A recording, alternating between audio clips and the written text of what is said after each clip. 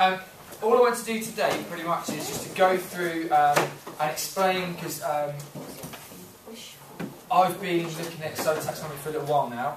Um, I looked at it back in 2009, I'll talk about that, but it's only really come to the forefront again uh, quite recently by going on Twitter um, and, and, linking in loads with loads of teachers around the country who use it as well and, and sharing ideas and stuff. Um, I, I, write a lot about it as well, it's pretty cool, so I can guide you to some stuff which I've, I've been about how I've been successfully using it. And obviously um, Sean and so on um, sort of came out in an LTG the, uh, the other month about how he'd seen something and I said, oh, this is what I'm doing, and it was the same thing. So um, it's kind of joined up some thinking which has gone around, and obviously it's gone forward. And then other people have been coming to me saying, um, I've heard you know a little bit about it, can you lead a session on it? So, um, so yes, I will. It looks quite easy. So, um, oh, there's some more. Some more. Uh, right. um, pretty much, um, I'm going to try and deliver the solo session using SOLO taxonomy. So you guys can actually see how I'm going to deliver like a lesson as such. Um, obviously full lesson, about 35, 40 minutes. Um, so what I've done is, um, I've got you a little notes page as you, you could use it. You don't obviously have to use these in the lessons as such, but I'm trying to, trying to structure it as best I can. So as I go through and explain what each of the different levels are and why you would use them and how you would use them, then uh, feel free to make notes about them. Um, but the main, most important thing is I've got these. Um, which is a, a, sort of a success criteria, uh, saying what you know about SOLO taxonomy. Um, so if you could, please, in sort of like your pairs or your group, um, have a look at the sort of criteria, uh, the rubrics as we call it, um, and see what sort of level you're starting at. Are you at the top already? Are you at the middle, at the bottom? Where out? Um, and discuss why. Why are you at it? Do you know anything about it? Do you not? Um, so I'll give you about a minute or two just to have a little read through and so, Okay, so have a look at the rubrics thing. Um, if I that. Um, it's got the, the, the, little level symbols down the side and explain what those mean as we go through. But just out of interest, um, I don't know, where, where, where are people roughly at? Miriam, do you... New, new, new so probably near the the, the, little dot at the bottom maybe, or one of the little strands. Um, we're, we're on here to, according to the, the pre-structural. Chris, you've done a. I've sent you loads Nearish the top, but not at the top yet. No, so nearly sort of like maybe relational yet. Okay, uh, Phil. Uh, I've never used it. Never, no, I never used it. I thought about playing piano, looking at that. Yeah, yeah, that's the way. It's a musical thing. So yeah, okay, cool. You need to buy a new piano. There's obviously not got enough notes on. uh, good. Um, these are really, really quite key, and they're one of the main features of SOLO taxonomy. It's, um, it's a rubrics. It's a way that students can assess their progress and so on. And I'll show you how we can use it. And hopefully, at the end, I can have moved you up the taxonomy so you can see, oh, I see what Dave's done there, and I can use that in my lessons. So, uh, it's going to go through obviously a brief introduction. Um, as I said, I've got a little staff uh, notes page. You can make notes as we go along. Um, just a bit of background why or how it sort of came about that it's, it's happening on the group for a minute. Um, back in 2009, obviously, when I was doing loads of stuff for Learn to Learn, I had to go away and research and investigate, and I did uh, lots of little bits of reading. Um, things that I've read, um, like Hattie, um, which is an amazing book, obviously tells you all the best methods of teaching, which is research and statistically proven, that sort of stuff. And I read Geoff Petty's um, evidence-based teaching, and this came up in it. But when I was at that stage, I wasn't really ready to have something so complex in my lesson, because um, in terms of theory classroom settings, on I was still trying to get to grips with it because I'm a practical teacher by, by sort, so it took a little while to do it. So what I did instead is um, I wanted a way that I could actually see progress in my lessons. Um, so I used the accelerated learning cycle, which is this, where I, I find out what the kids know to start with, then I teach them, then I set them a really challenging task, and at the end we reflect and see if they've gone from shallow to deep learning. And I used Bloom's taxonomy um, as a way of trying to structure this. So at the end I was doing lots of creating, evaluating, analysing tasks, that sort of stuff. Just to try and get this differentiation, this progress of learning going on.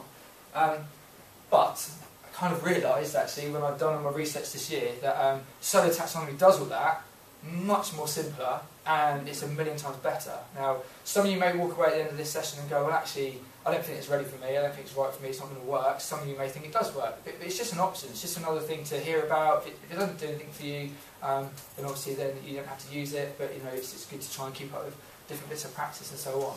So it stands for uh, Structure of Observed Learning Outcomes. So it's the whole structure to try and see what students are doing in your lesson and seeing if they're working up from shallow to deep learning. And it makes it really visual, really apparent that students are working from shallow learning at the start up to deep learning at the end. And, and when I've used it in my lessons for the topics that I've done, and I'll show you some examples in the second part, Um, kids have come into my lesson knowing nothing and then ended up being right at the very top and can link other things in and so on. They've really developed their thinking and understanding because of it. Um, so it's a really, really, really good way of doing it. Um, I won't read through these as you go, um, but there's some of the other things which it does. Um, with Sean, we've looked at it um, in a music context, just looking at planning, seeing how it could develop your planning and make, make sure that in your lessons, just as a bit of a recap, that you are going from shallow to deep learning. Um, but the best thing, obviously, is if you start sharing it and get students in on the act and start learning the terms and that sort of thing, and you use these um, rubrics in your lessons, and you know, and it's all differentiated outcomes on there and that sort of thing, which is really quite easy to do. Um, then obviously it, it, makes the progress in the lessons so much more clearer, and it allows students to see what they need to do to get to the next level, um, which is obviously really powerful. Because how many times do we hear in some of our staff meetings that students need to know where they're at, obviously what to do to move forward? Well, I've already listed on here some of the things we need to do as teachers to move forward to the next level. So um, if you do that for your lessons, it again is a really powerful tool, and students can see that. Um, thrives on AFL and so on. It's great for students to, to post-it note, reflect, write um, uh, a little brief summary about why they're at certain levels and that sort of thing, um, which works really, really well. Um, and like I said, it's the whole thing about moving students through this, this deeper learning and trying to get to the highest end of the end, which I'll explain in a second. Um, with the differentiation bit, that there's something very complicated I did a couple of weeks ago, which I talk about. But you can even like with these rubrics and so on, when the kids come into a lesson, you can have them all start at different points of your lesson, and, still they can work their way up. So you can have lots of differentiation going on in your groups, um, and it is quite easy to manage because it's all structured there and scaffolded for them, which is good. Um, all the success criteria again really really help. Um, like I said, all the self-assessment things work good. Um, the last bit at the bottom I did this a bit secretly with my Year 11 group uh, in the last couple of months before their uh, Year 11 exams uh, to try and help them structure the, their exam question answers because in the final section of our exam there's some eight mark questions they've got to do um, and they're really quite deep and they need students to really not, not just talk about that particular topic but link in other aspects as well and when we used this they, they were going from sort of like a 2 out of 8 mark questions to full 8 out of 8 mark answers uh, because they were using the, the, the methods that I taught them and, and were bringing in different things and working up the stages and including it all in their answers. So it's really, really good to help develop that as well. And I know in, on the internet and so on, I've chatted to people, loads of departments are using that. English, I know, are using it quite a lot in other schools as well. So I thought I'd go through and explain exactly what all the different levels are and when a student might actually be at these levels in your lesson. Now the first one, um, the little dot at the bottom, is what we call the pre-structural. And that is when, if you're doing a topic, so for instance in my PE lesson I was doing something on somatotyping, some of my kids will come in and go, what? I don't know what you're talking about. So they would automatically be at pre-structural level. They're not sure about this topic, and they don't know anything about this subject. So some of you already, when you came in here, said, oh, I'm already at uh, the bottom level, pre-structural. So that's where you're at. And actually, that's a really powerful thing to have at the start of your sessions because the kids can then make the most progress because they've started knowing nothing. At the end of your lesson, actually, do you know what? I've, I've moved up like four levels and I'm up to here now and I, I can see how it is and what I've done. So it's a really, really good starting point to, to get going. So, um, like I said, a lot of the new topics we do, a lot of the students naturally just end up at the, the pre-structural level. Um, it's really good. And obviously the visual dot, like a full stop, not knowing much, is really helpful as well. In a minute as well, as we go up, there's going to be a list of verbs as well, which, which are really helpful when at those levels you use those sorts of words as well. So acts as a bit cue. And I'll send you this um, a link to this PowerPoint, as, uh, this Prezi as well, so you can see it uh, in your own time. The second level is what we call the unistructural. So in your lessons, uh, obviously you then start giving bits of information, you start doing the teaching and start sharing the, the topic content. Um, if a student only actually knows one bit of content from your topic, either because they weren't listening or because um, that's what you've covered, then they're at what we call the unistructural le level. They've only learned one thing. Um, I have one idea about this topic, but this is the time when they're gathering pieces of information. So at the end of your lesson, if you go, right guys, so what do we say about somatotyping? And one kid turns around and says, I know there's something about muscles and mesomorph, but they only know one thing, so they've ended up at a unistructure level. I haven't actually moved them up the taxonomy. I need to obviously work on that a little bit later. But I then know that that one child in my class, next lesson I need to work them a bit harder and obviously do so and so. So it informs my planning as well. So that's when a student knows one particular fact about something. Obviously, if as the lesson goes on, you're given lots of these different facts, they've gathered lots of facts. And the next fact, uh, level is what we call the multi-structural. Uh, the learner outcomes show connections, but no significance overall uh, meaning is brought together. So they know, for instance, that somatotyping has got something to do with muscles and body shape and, and I think something's called a mesomorph and that sort of thing. They know all these individual facts, but they don't know how they all link together. So they're still gathering information. So I know several things about this topic, but they're gathering multiple pieces of information, but not able to see how they all work together. So I've taught them all the little bits they need, but I haven't brought it uh, together. They don't know what the bigger picture is. Um, and obviously, this is a great stage to get the students at. This is the bit where obviously we're sharing our knowledge and so on. And again, we've got some different uh, verbs on the side there, like define, um, describe, things like that. And I know in our topic, you know, we've got to give lots of definitions, and that's great. Then they need to show what these definitions mean, and we need to take it to the next level, which I'll show you in a second. But it's all about these connections. Yet they're not major connections. They've just got all these little facts. Next stage after that, this is the bit, the, the, the, sort of the important bit, the pivotal bit in any lesson, um, and that's where obviously we then say, right, you know this about this, that about that, that about that, but now we bring it all together. What's the bigger picture? Okay, so in my lesson I've talked about somatotyping, which I know a lot of people here won't know about, and a lot of my students won't know about when they first meet it, and they know it's something to do with muscles and body shape and something called a mesomorph, but now they can all tie it together. Oh, somatotyping is it's, it's about the body shape and a really muscular person who's got a big muscular frame, they'd be called a mesomorph. So they've linked all these ideas together, they can see how they all join up and that sort of thing. Um, and again, it's all these different key verbs down the side there as well, which um, you know, all the analysing words and explaining and, um, and classifying and putting things in sequences and order, you know, see how they all work together, how it all ties together. Uh, and the key things at the bottom I put down there is the relationships, the, the key points and how they all interlink uh, which makes the relational level uh, probably the key part in our lesson. Now, I'll talk about how we did it with one of Sean's lessons as well, um, but the next stage is a little bit different. The next stage is where you really push and stretch the students to sort of like the, the bit beyond what, what I knew I normally taught. It's okay, it's for me. No worries then. So the final stage on the ladder is what we call the extended abstracts, and that is where we are really challenging and developing the knowledge of our students. Okay, um, this is where we get to look at things in a different way, and Sean's going to talk about in a minute how he did it in his music uh, lesson which he was doing.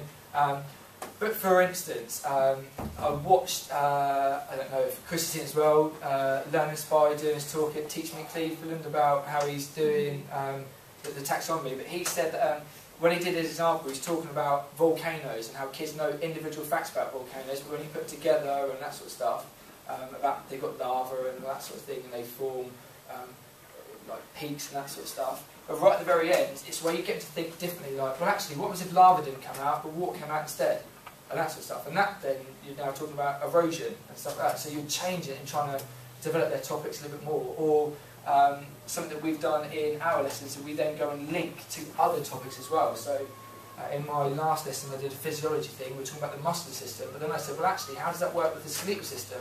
And I'd never done that before with a group. I've just taught skeletal, or the muscular, or the heart, and that sort of thing. But I linked it together. And then my students go, oh, actually, the muscles then do this, and that does that. So we're bringing in additional topics as well, and it's it's developing a wider knowledge of, of, of the, the topic that I'm covering. And that's a really, really, really critical bit, actually. Um, that's where we're pushing our A stars and, and our A students because they they can bring in other, other knowledge and so on in their um, exam questions and, and things like that.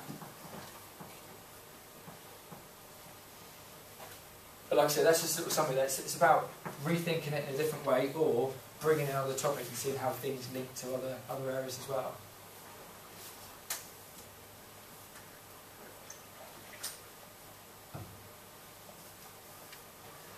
So, now I'm using Bloom's, I'm using Accelerated Learning Cycle, but I just want to go over why this has been just mind blowing and just a difference in, in, the level of my lessons quite quickly. Um, like I said, the, the bit versus Bloom's taxonomy, you know, Bloom's is great, okay, um, obviously remembering, understanding all the way up to creation and that sort of thing, but the problem is, in my lessons, I've never had a student, when I've used it, go, Sir, I've just finished my analysing task, what can I do for my evaluating? They've never done it. It's not been a like natural jump.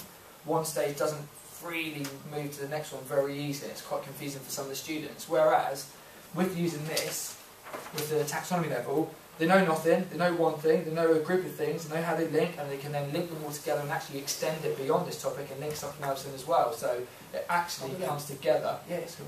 So it actually comes together, and it's a really, really easy structure for the students to learn and build upon the next thing. And they can easily look at one of these and see what it is they need to do to get to the next level. And they don't even have to ask me now. They can say, what do I need to get to multi structural? Well, they can look at it, okay, because it's written down there already for them to go.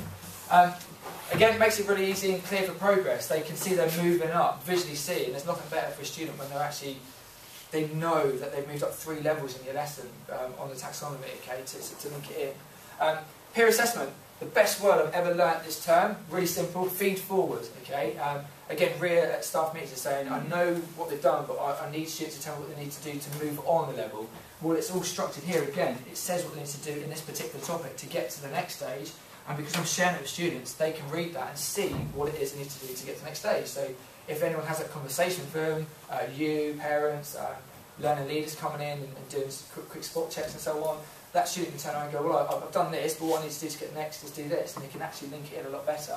Um, they're the three questions which obviously have come out from um, the, the, thing as well, what am I learning, what do I need to do to develop deeper understanding and things like that. Um, and I know it is a bit funny with multi-structure, extended abstract and that sort of thing, but once you learn it, it's actually really quite clear for the students. Um, they can actually, it's only five extra words they've got to learn or five phrases they've got to learn. If you kind of embed it in your lessons and so on and have displays and so on, it makes it quite easy.